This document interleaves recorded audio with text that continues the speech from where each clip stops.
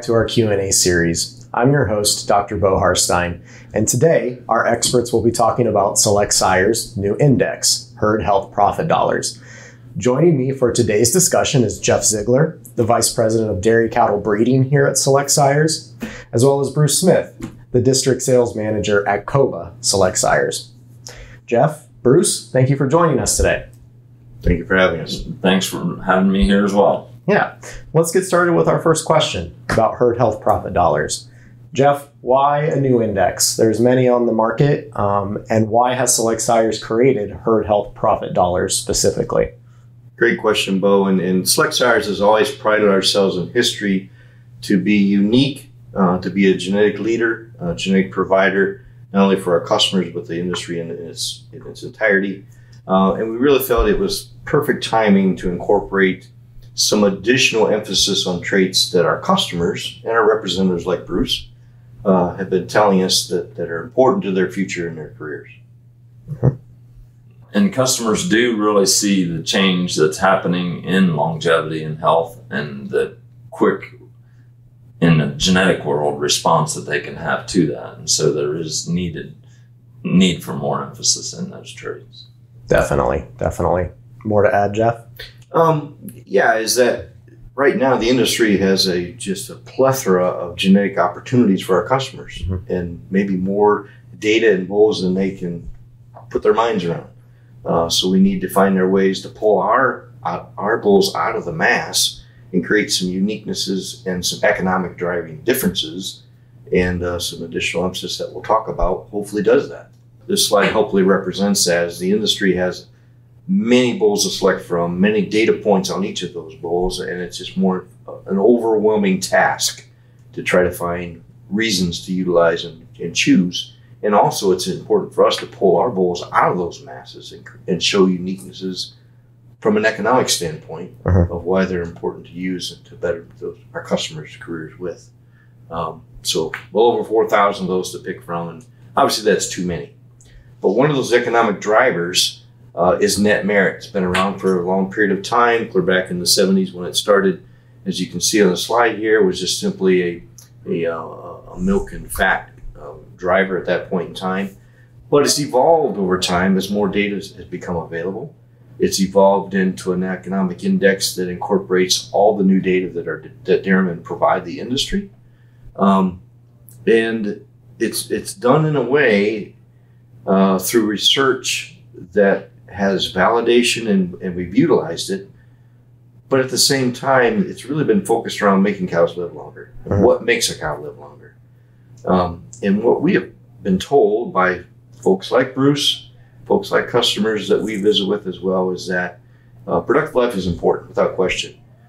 But maybe the the direction of some of the traits that have been chosen here of recent don't emphasize some of those traits as strongly as we think they should to be ahead of the runner. So we say we want to skate to where the puck's going to be. And we think we have some ideas and concepts to help us do that. Um, the, the index is going to change actually here in August. Uh, it's shown there where residual feed index is going to be incorporated into the, the uh, net merit index. But uh, that's not the only thing we think would be a good adjustment because some stories like Bruce has shared with us in the past uh, are really important to make sure we're throwing ahead instead of looking back. Definitely. Customers are looking for the improvement, and the index is a sorting tool, but the but to narrow it down um, without a custom index to something that is driving them where they see the improvement in mastitis um, as an example. That's what they're looking for. Great, great. So indexes are made to keep things simple and to put uh, traits in their proper perspective. Uh, Net Merit does that. Um, other indexes do that, and these are the different national indexes that have been utilized over time, the weightings of the different traits that go into those indexes. So, Bruce, how do you take that slide and take that information and, and direct your customers to what's important for them? Well, there, there's a combination of both because everybody has their opinions of their ideal animal that they're trying to breed for. And so some of them will fit into one of those indexes themselves better there is also an educational opportunity there to influence, have some level of influence to lead them maybe a way that they think they need to improve that is not maybe as highly weighted in one of the other indexes that they have been more using utilizing more so than than the direction they're trying to go. Mm-hmm. Great. That makes sense. and, and as the, the circles represent, there's where some real differences are amongst the uh, we call the bigger indexes that are used your TPI, your net merit, your dairy wellness profit dollars. Um, where mastitis and conformation is probably the the two areas that uh, create a lot of discussion on farm as far as what's best for them. They absolutely do, and and they see the results of selecting for mastitis, and people still like to look at good-looking cattle. Sure. For sure. For sure. Well, let's let's let's have some fun. Okay, let's let's look at the industry that uh, builds genetics, just like the, the great company of Select Sires. We have competitors that do similar things, maybe in a different way. But let's look at results. Um, you can't hide from facts. As my mother always said, facts are facts. Jeff, you were out too late last night. She was right. Anyhow, um, look at the top 10 bulls of all the studs after the April evaluation and rank those, excuse me, average the top 10 of those, each of those studs for their top 10 bulls. So, Bruce, there's the information. There's four studs li- listed there. Their top 10, 10 averages of the top 10 bulls. What do you tell a customer? If we're going to select for net merit, we're going to select for B because he's going to have the highest dollar improvement values um, of that group of studs in this case today. Okay, and that's why Bruce is one of our leading representatives. He can do math. But um, let's add more to the story because there's always more to a story. It doesn't matter what discussion point you're talking about. So let's add some fertility to net merit. In other words, look at the same group of bulls, look at the genetic average of those top 10, um, and create some differences here. And how do you handle this inf- information?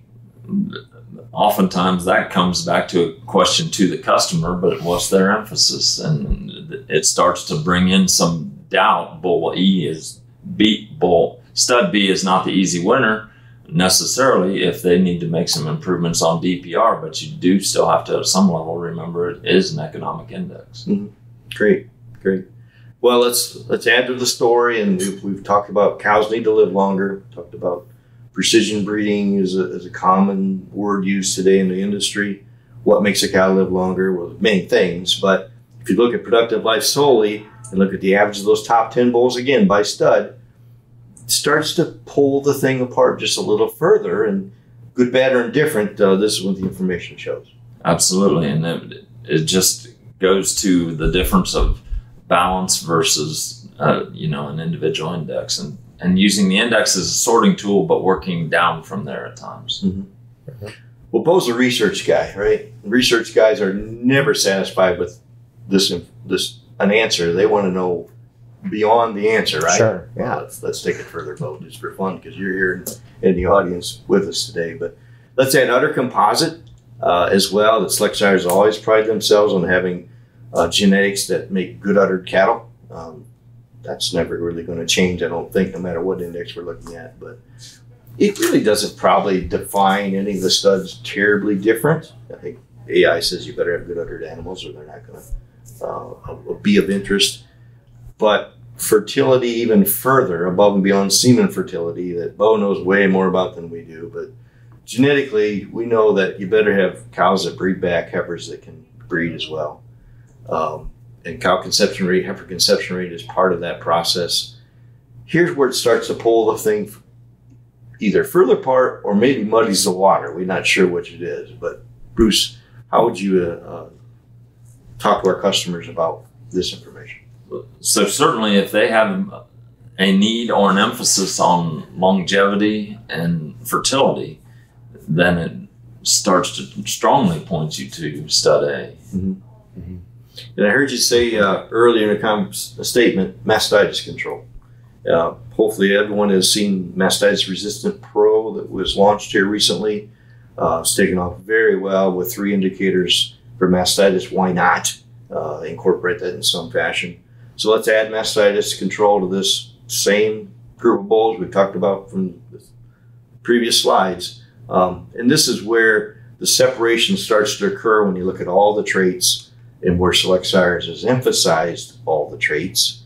Uh, in fact, we started a process back in 2018, really emphasizing some of the traits that are listed here um, above and beyond what an index tells us. And because of that, we might not lead the industry for a particular index, but when you start to break it down, the components of the index, and look at the bulls represented, hopefully this shows you the balanced approach that we're trying to strive for. It, it does, and that's what most customers ask is that kind of balance. I like that. It tells a really nice story when you put all that comparison together. Great. And the fact that they're real numbers is what makes it impressive. Great.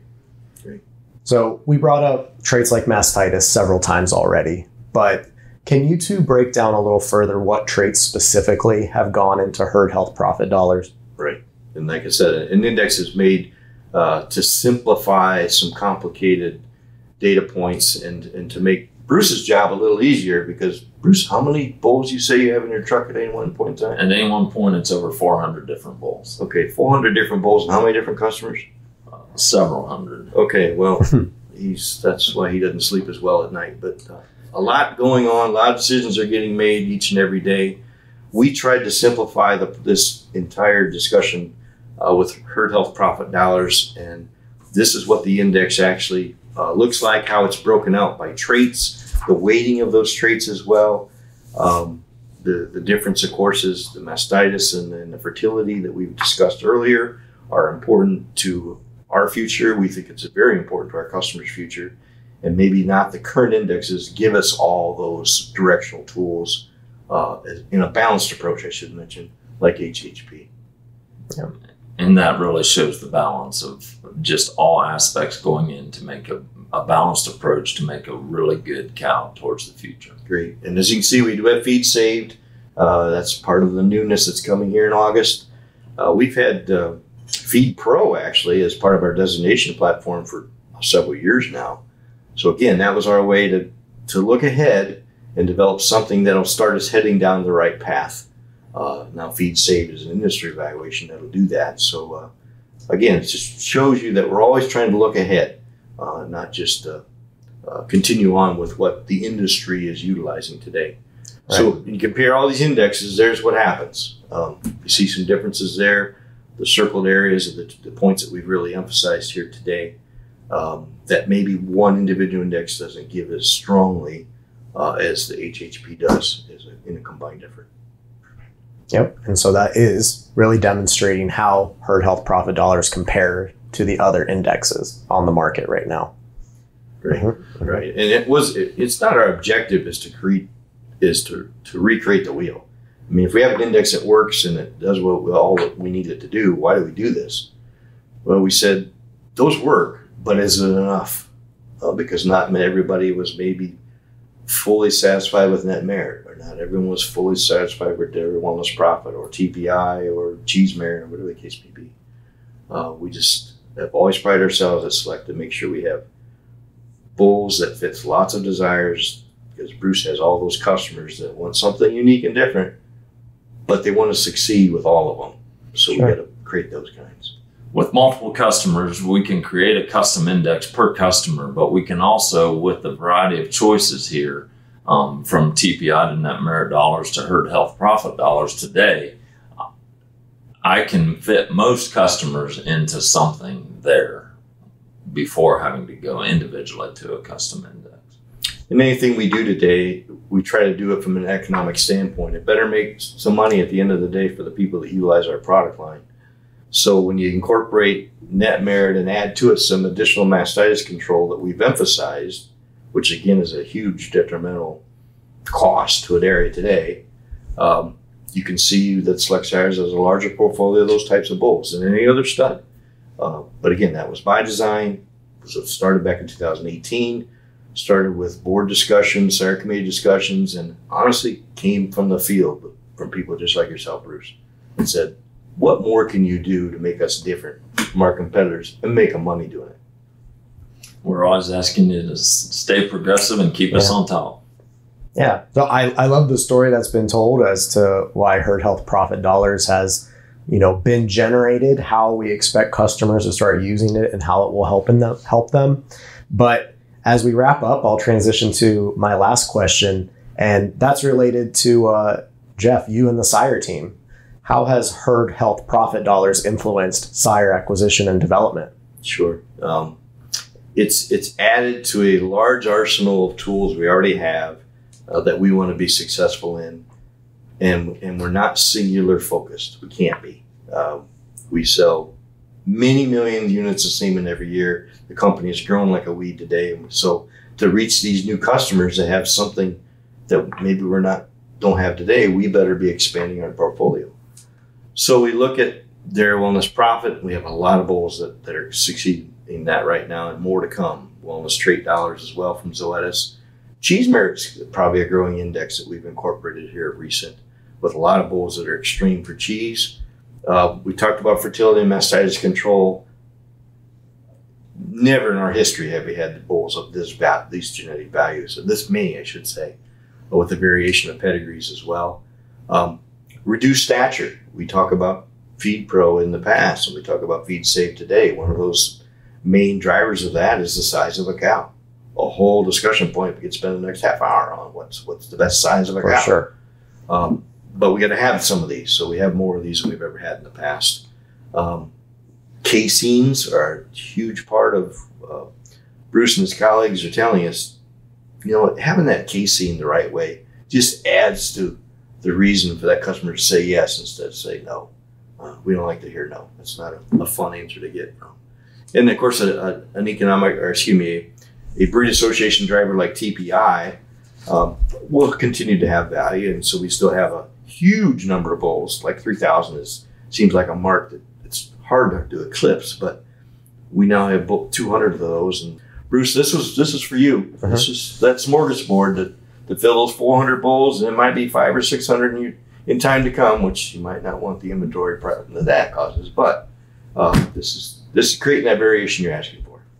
we always need variation. As my predecessor said when I first started, we need a bull for every driveway that we come by. So we've got something, we always have, we continue to have a bull for every place we go.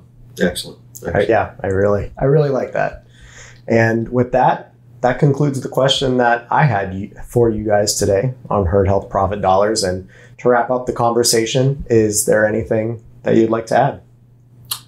Um, we just hope you, you see the reasons behind it. This wasn't a, a marketing gimmick. This was a, a directional um, need that we felt genetically we could be the vocal point of the industry on. We think the industry will head more this way in years to come, but why not be that that, that that driver of the bus that says, "This is where we're going, folks. Jump aboard. We're going to make you money in the process."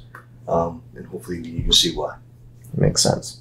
Makes And- sense. And customers are seeing it, and this is providing options for them to get to those goals. Perfect. Perfect. And with that, Jeff, Bruce, thank you so much for joining us today. We appreciate the discussion we've had and the opportunity to learn more about the new Herd Health Profit Dollars Index. Thank you. Thanks, Bo. And thank all of you for joining us for today's discussion and Q&A session. Stay tuned as we announce future Q&A topics and be sure to send us your questions beforehand. We'll talk to you again soon.